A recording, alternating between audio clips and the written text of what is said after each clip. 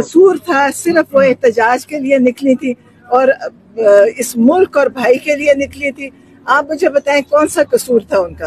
और अभी भी क्या कसूर है? इनको जिस तरह ले लेके फिर रहे हैं, वो जो वहाँ पे थानों में ऐसे लगता है जैसे कोई मुजरिम इनके हाथ आया हुआ मुजरिम तो बहुत होते हैं, लेकिन ये मुजरिम नहीं थी। ये तो पाकिस्तान के, जो होते हैं ना मुखलिस कारकुन पाकिस्तान के लिए हम बैठे थे।